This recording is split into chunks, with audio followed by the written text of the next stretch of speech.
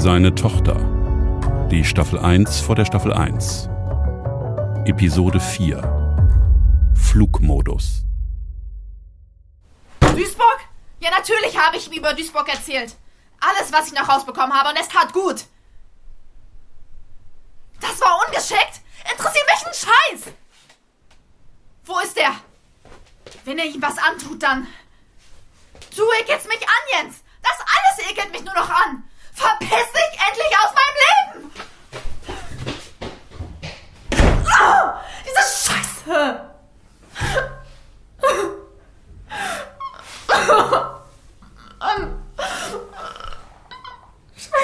Alles gut bei dir? Hey, Emilia, was ist los? Lass mich in Ruhe. Ich. Ich. Ich gerade nicht. Ich komme gleich, lass mich einfach. Hey, versuch dich zu beruhigen, Kleines. Ich bin in der Küche, wenn das ist, okay?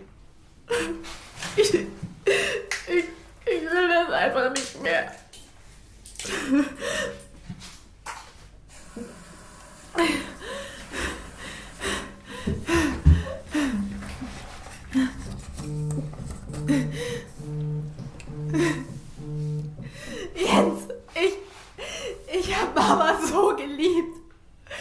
Warum habt ihr ihr das angetan?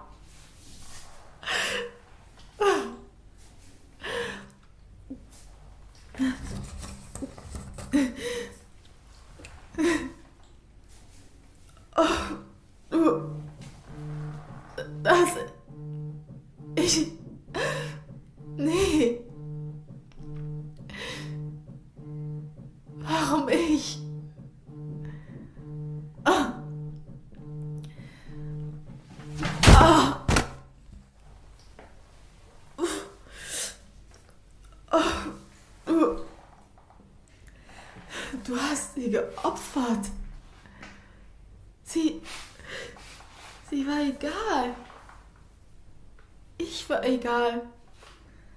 Was. Was willst du schon wieder von mir? Es, es muss doch irgendwann mal genug sein. Genug sein. Ich. Ich steig aus, ich. Ich steig aus. Du bleibst jetzt bitte sitzen. Nächste Station Friedrichstraße. Übergang zu den S-Bahn-Linien. Bleib bitte sitzen. Du hast mir überhaupt nichts zu sagen. Auch nicht die Wahrheit? Das war ja mal spannend. Du und Wahrheit? Passt nicht. Ja, was glaubst du denn, warum ich hergekommen bin? Das ist mir scheißegal. Schon ätzend genug, dass du hier bist. Willst du mich wieder irgendwo verstecken? Das ist alles aus dem Ruder gelaufen. Alles. Das stimmt wohl. Aber damit musst du klarkommen. Zurückbleiben bitte. Ich habe sie geliebt und ich... Oh, ich krieg das Kotzen. Emilia, wir müssen zusammenhalten. Ich kann dir nur helfen, wenn du dich wieder tarnen lässt. Vergiss es. Verdammt nochmal, du hast doch gesehen, was mit deiner Mutter passiert ist. Gleich sind wir an der Oranienburger. Da werde ich aussteigen. Und wenn du mich wieder festhältst, schreie ich den ganzen Laden zusammen. Das, was ich weiß, habe ich im System von einer sehr coolen Nachrichtenbude hinterlegt. Sollte ich verschwinden. Also ich weiß nicht, ob das für dich und deine Typen so cool ist. Wir haben Defected auf dem Schirm. Und wir haben da Leute wie dich auf dem Schirm. Station Oranienburger Straße. Wie viele hast du noch? Was? Wie viele? Methotrexat. Nehme ich schon seit zwei Wochen nicht mehr. Das war doch bestimmt auch nur Beschiss. Bitte nimm sie unbedingt wieder. Dein Immunsystem. Emilia, das ist gefährlich. Hier, ich. Äh, ich hab dir, ich hab dir noch eine Packung mitgebracht. Ich gehe dann jetzt. Und nimm das auch mit. Das. Das ist. Ein Haftbefehl.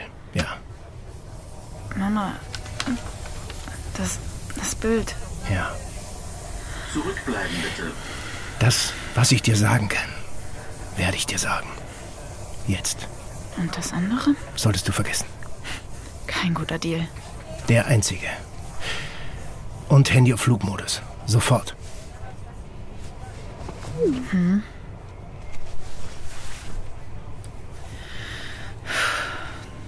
Duisburg.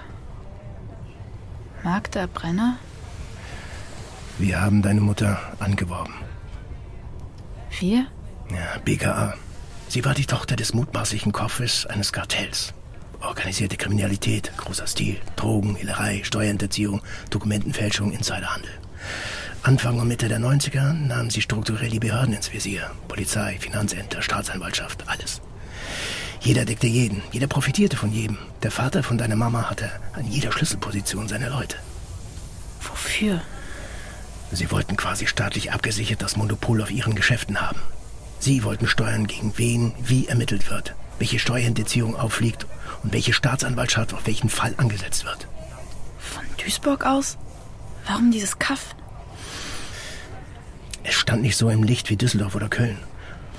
War super zu steuern und hatte vor allem einen großen Hafen für den reibungslosen Umschlag der Waren. Und Mama? Die war bei dem ganzen Scheiß mit am Start? Sie hatte vorher eine Banklehre gemacht und saß dann später auf den Büchern der Gesellschaften. Das waren Dutzende. Einen der Geschäftsführer hatte sie. Den hat sie später geheiratet. Bitte was? Sie war der. Sie hat mir später erzählt, dass sie. dass sich das wohl so ergeben hat. Dein Großvater wollte gerne, dass der innere Zirkel möglichst eng bleibt. Sie hat sich gefügt. Ha, ja, heute wohl nicht denkbar. Damals. Ich halte es nicht aus. Bin. Bin ich. Bin ich dann. Wir hatten über sie ein Profil formuliert und wussten, dass er sich für Kunst interessiert. Tja, Menschen mit Faible für Kunst sind ziemlich sensibel. Wir haben in Duisburg eine kleine Galerie aufgemacht und deine Mama, sie befreundete sich, wie gewünscht, mit der Galeristin. Jens. Mamas Mann. Ist er mein. Die Galeristin sollte den Faden spinnen zu ihr. Jens! Deine Mama sollte zweifeln. Immer mehr zweifeln. An ihrem Gewissen. Ich will das jetzt wissen. Nein, er ist es nicht. Nächste Station, Nordbahnhof. Das ist alles so krass. Deine Mutter kam so in Kontakt mit Künstlern. Einige drogenabhängig. Denen ging es richtig dreckig. Also vermeintlich. Alles Typen von euch? Wir haben begabte Maler. Auch Fälscher? Alles, ja. Also den Leuten, den Leuten von deinem Großvater stand die Galerie, in der sie sich so wohl fühlte. So hatte die in acht Monaten direkt drei Steuerprüfungen im Hals. Die Galeristin stand also vor dem Ruin. Unsere Strategie ging auf. Deiner Mutter setzte das alles immer mehr zu. Wir versuchten sie labil zu machen, immer mehr. Und gaben uns irgendwann zu erkennen. Und das alles nur, um sie fertig zu machen? So läuft sowas also? Nein, es läuft immer anders, als du denkst. Also wollte Mama euch trotzdem nicht helfen. Die Duisburger Polizei fing zeitgleich auch an, rumzustochern. Die Stammkneipe von einem der Kommissare sollte plötzlich Schutzgeld bezahlen. Und dieser Vollhorst läuft mit seiner Dienstmarke im Anschlag in die Firma von Brenner rein, stellt sich breitbeinig vor dem Schreibtisch deiner Mutter auf und macht ohne irgendeinen Beweis einen auf Robin Hood. Sie war doch immer so nervös. Wie hat sie das ausgehalten? Gar nicht. Deswegen mussten wir den Weg verkürzen und dann die Kripo einbinden. Mama sollte ihren eigenen Vater ans Messer liefern? Sie musste eine Entscheidung treffen. Sie hatte sich strafbar gemacht, war naiv, hatte nie unter die Oberfläche von dem Laden geschaut. Drei bis vier Jahre wären das gewesen. Dann vorbestraft oder, oder eben.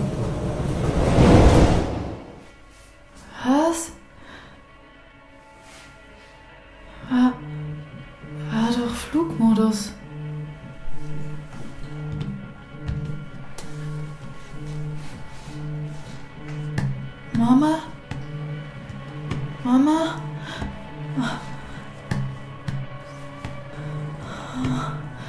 Wo, wo ist es denn? Mama, bitte, bitte stress dich nicht. Das wird schon nicht. Ja, Ich bin, ich bin gleich dran. Das, das kannst du so nicht, Mama. Ich, ich denke an dich. Ich hab dich, ich hab dich so lieb. Sorry, ich, ich, Ich ruf dich gleich zurück, bitte. Bitte, du musst. Auspacken. Sie sollte auspacken. Das sollte sie. Und ab da wird dann alles neu. Sie war nicht so tough. Sie hat immer gezittert, wenn sie Stress hatte. Und sie hasste Streit. Wie hat sie das ertragen? Es war schwierig. Sie musste sich langsam an den Gedanken gewöhnen. Wir hatten ihr zugesichert, dass sie ihre Aussage dann nicht öffentlich machen muss. Und dass jemand parallel den Anfangsverdacht erhärtet, um die Hausdurchsuchung in Peter Brenners Firmen auf die Reihe zu kriegen. Peter Brenner? Dein Großvater. Nächste Station Humboldtheim. Dann war Mama in echt also eine Art Patentochter. Echt geil. Wenn du so willst. Ich will das nicht, Jens. Ich will das echt nicht. Ja, ich weiß. Wie lange hat denn der ganze Scheiß gedauert? Wir hatten nach drei Monaten genug für die Hausdurchsuchung. Und durch deine Mutter wussten wir, wo exakt wir die relevanten Unterlagen finden konnten. Ab dem Tag der Durchsuchung Lockdown. Sie musste verschwinden. Ganz schnell. Mit dem Zugriff. Und wo habt ihr sie hingebracht? Kreta. Zurückbleiben bitte. Da. Da bin ich geboren. Eben. Die Fahrausweise bitte. Hier, bitteschön. Danke, junge Frau. Das ging aber schnell. Hast direkt eine Jahreskarte. Er kann, der kann. Und Sie, Meister? Ja, doch, Moment. Äh, Hier. Was ist denn das? Jetzt machen Sie hier keine Show. Das ist mein verdammter BKA-Ausweis. Ich ermittle hier. Danke fürs Verständnis. Na, bitte. Hab aber keins. Ich ermittle nämlich auch hier. Typen wie Sie zum Beispiel. 60 Euro bitte. So, jetzt machen Sie mal keine Show hier. Nee, Jens, keine Show, bitte. Diese Scheißstadt. Können Sie einen Hunderter wechseln? Aber gerne doch. Bitte, hier 40 Euro zurück. Ausweise bitte. Das ist dir schon mal passiert in Dublin in der Straßenbahn, als wir da gewohnt haben. Nur eine Station hast du gesagt. Nur eine Station. Und dann standen sie zu zweit vor dir. Ticket, please. Du lachst wie sie.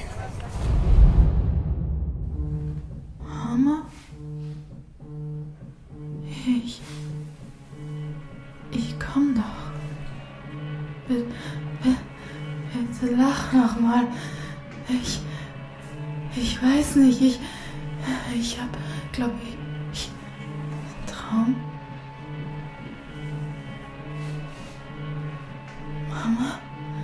Mama, hast du auch geträumt? Mama, Mama, wa- was hast du geträumt? Er, erzähl doch. Warte. Warte. Ich. Ich muss. Ich muss fahren nach mein, meinen Fahrschein. Danke, junge Frau. Das ging aber schnell. Hast direkt eine Jahreskarte. Der kann, der kann. Und Sie, Meister? Ja, ja, doch, Moment. Hier. Danke. Sehen Sie zu, dass Sie die Kleine jetzt auf Linie kriegen. Schnell. Und dann verschwinden Sie gefälligst aus Berlin. Aber Dalli, Dalli. Die Fahrscheine bitte. Als BKA-Mann hat man einen Freifahrtschein? Nicht für alles. Glaube ich sofort. Man darf zum Beispiel nicht einfach eine Frau vögeln, die man eigentlich schützen soll. Ich. Äh, Seit wann ging das? Irland. Ich habe sie wirklich geliebt, Emilia. Und dich. Das kann ich jetzt mitbeten. Und das macht es nicht wirklich besser. Schon klar. Du hast vorhin gesagt, dass du mir das erzählst, was du sagen kannst. Und warum der Haftbefehl, wenn ihr sie längst weggeschafft hattet? Das Kartell sollte denken, sie hätte sich abgesetzt und es würde nach ihr europaweit gefahndet. Was ist mit mir? Nächste Station Gesundbrunnen.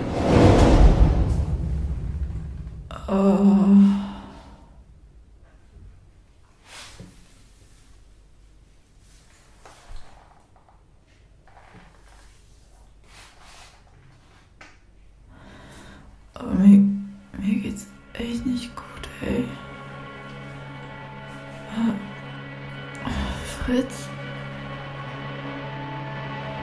Fritz, was. Was ist.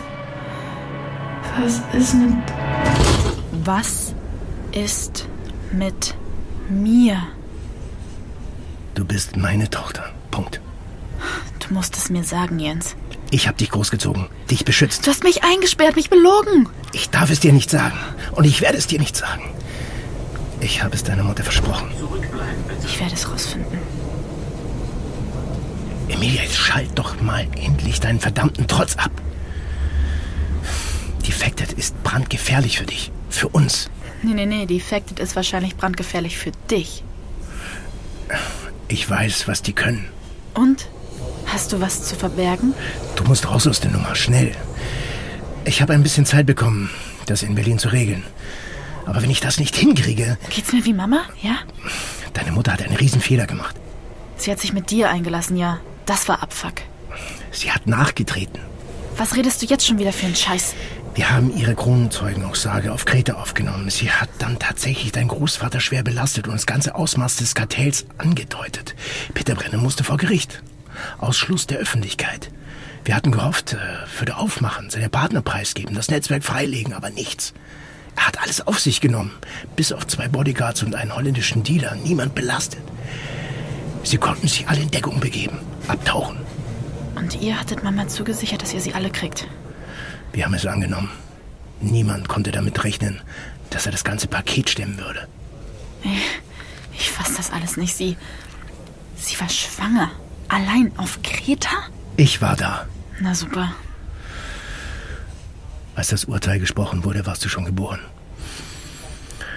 Wir konnten ihr erst einmal ein schönes Apartment besorgen und die neue Identität. Ich war immer in Reichweite. Sie hatte dich, war glücklich und wollte von dem ganzen Kram nur Abstand gewinnen. Und da hast du dann den Abstand verringert. Von ihr zu dir. Amelia, das führt doch jetzt zu nichts. Menschen vergessen schnell. Es sei denn, sie werden nachhaltig an etwas erinnert. So wie sie, später in Wien. Sie sah plötzlich Typen, die sie kannte, aus dem Umfeld ihres Vaters, in sehr wichtigen Positionen, im Netz, im Fernsehen. Deine Mutter wurde unvorsichtig. Deswegen. Nächste Station, Bornholmer Straße. Ich hab's erst mitbekommen, als wir nach ihrem Tod ihren Rechner seziert haben.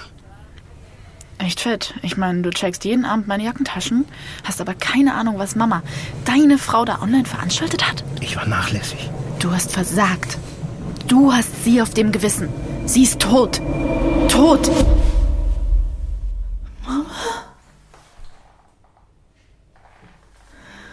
Mama, du bist nicht. Mama, du bist nicht tot, oder? Mama, ich.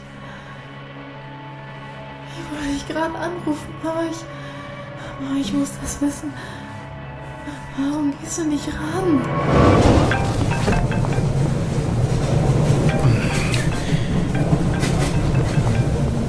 Warum gehst du nicht ran? Es ist. Äh, Ah, der Trend geht zum Zweithandy. Sicher ist sicher, oder? Alles mitgeschnitten? Check doch mal die Qualität, sonst können wir ja nochmal von vorne anfangen. hallo? Ich rufe zurück. Also, ich soll also wieder was anderes werden, als ich bin. Damit keine anderen Fragen gestellt werden als gewünscht. Weil dann ein paar Leute richtig sauer werden und in andere Suppen spucken als von euch geplant? Irgendwie richtig? Sie sind aufgescheucht worden. Emilia, wir besorgen dir ein cooles Praktikum beim Guardian in London oder wo du willst. Aber gefährde jetzt bitte nicht diese Operation. Ach, darum geht es. Ich, ich dachte, du wolltest mich schützen. Aber wenn es das gar nicht ist, sondern die Operation, dann, dann werde ich mal spuren, was? Gerne. Mm, Jamaika finde ich cool. Vielleicht, vielleicht gibt es ja in Kingston einen geilen Radiosender mit ein paar heißen Rasterboys. Jens, meine Mom ist tot. Vor meinen Augen umgekommen. Du hast das zu verantworten. Und dann hast du die Eier hier mit so einer Geheimdienstkacke und einer windigen Duisburg-Story angeschissen zu kommen. Du verstehst das nicht. Und das ist auch gut so. Wenn sie dir an den Arsch wollen, weil du das in Wien versemmelt hast, ist das dein Problem. Ich bin da raus.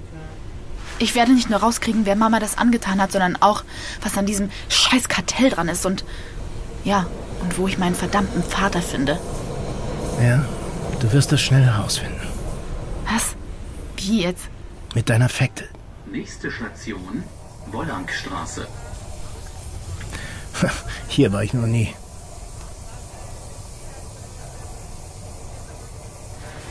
Ich komme zu spät. Ich möchte jetzt gleich aussteigen und zurückfahren. Wie arbeiten Sie?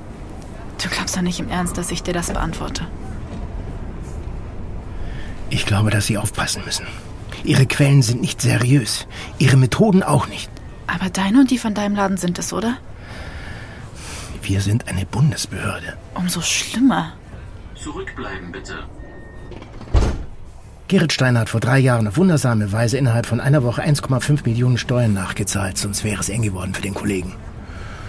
Woher er das Geld hatte, ermitteln wir gerade. Wenn du nicht meinen Schreibtisch durchwühlen kannst, machst du halt bei anderen Leuten weiter, oder? Moritz Griese ist ein Hacker, manisch-depressiv, war in der Jugend dreimal in der geschlossenen, Minimum jeweils ein halbes Jahr. Ist das strafbar? Nein, aber auffällig. Steck dir deinen London-Scheiß sonst wohin. Deine Mutter wollte, dass du lebst, Emilia. Meine Mutter hat selbst super gerne gelebt, Jens, und das hat auch keinen interessiert. Was ist eigentlich mit ihrem Vater passiert? Zunächst acht Jahre. Und dann haben sie nachgewiesen, dass er aus dem Knast noch ein bisschen weiter agiert hat. Das gab noch mal fünf extra. Hat er sich an Mama rächen wollen? Das wissen wir nicht. Ja, kann man ihn nicht fragen? Schwierig. Wir, Was? wir haben... Wir haben ihn nach dem Tod deiner Mutter sofort im Gewahrsam nehmen lassen. Er, Er. er hat sich nachts in der Zelle aufgehängt. Ich habe dir schon viel mehr erzählt, als ich darf. Deswegen machen wir den ganzen Fall jetzt wieder neu auf. Aber wir müssen extrem vorsichtig sein. Wenn du mich hier gefunden hast, dann hätten die mich doch auch schon längst finden müssen.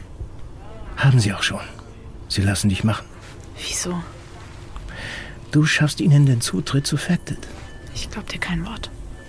Du spielst mit dem Feuer. Sie warten auf ihre Chance. Ich auch. Nächste Station, Schönholz. Schön. Mama, das wird schön. Schön. Wir, wir sehen uns nachher. Gleich so. Ich finde dich da schon. Ich finde dich da schon. Ich, ich hab, ich hab ein bisschen Angst, aber, aber vielleicht. Ist es dann vorbei, Was meinst du? Wenn ich mich wieder tarne? Das, äh, das weiß man nie. Warum sollte ich dann? Weil sie es gewollt hätte. Sie hat ihre Tarnung auffliegen lassen. Sie hat es nicht mehr ertragen. Und ich werde damit nicht wieder anfangen. Du bist stärker als sie. Vielleicht.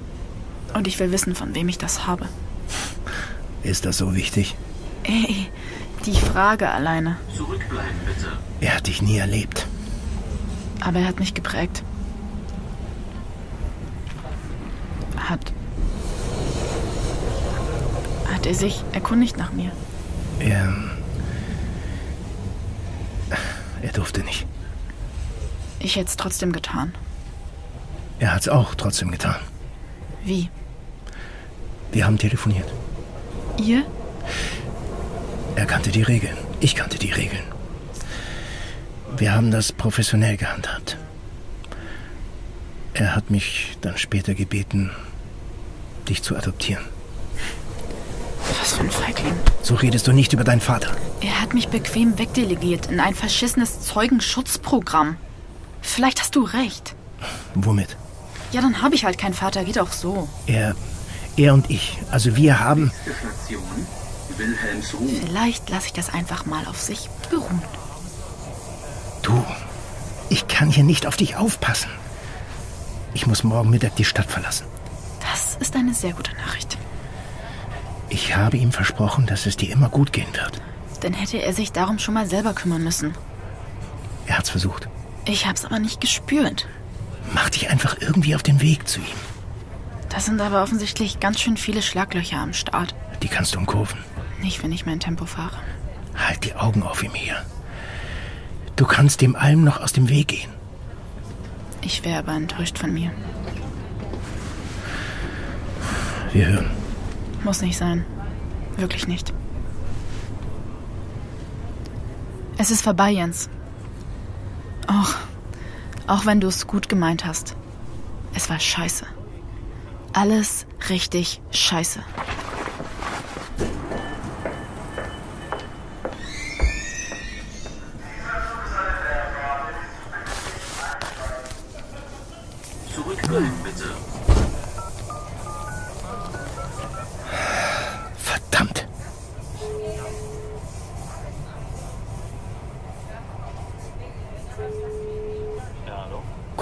42YV Delta 6. Operation Hamborn. Ja. Ja, sie wird kooperieren. Bereiten Sie den Brief vor.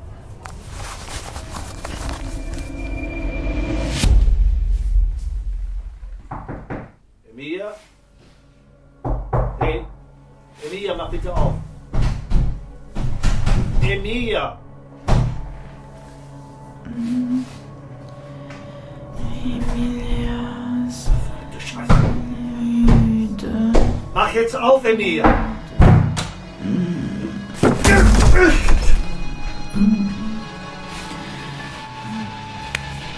Scheiße! Scheiße, Emilia! Hey, hey, hey, hallo, Emilia, komm, komm schon, aufwach. Hey, Scheiße, Methotrexat. Emilia, sag mal, hast du sie nicht alle? Wie viel hast du davon genommen? Ich weiß nicht. Mama fragt. das kannst du nicht machen. Los, los, komm her. Komm jetzt.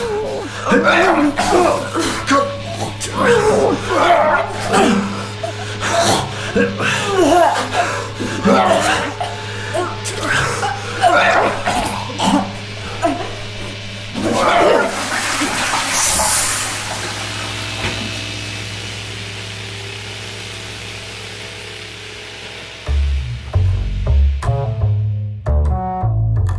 Hardy Krüger Junior, Peter Lohmeier, Luise Großmann. In seine Tochter. Die Staffel 1 vor der Staffel 1. Episode 5 demnächst hier. Seine Tochter zum Sehen auf seine Tochter.de.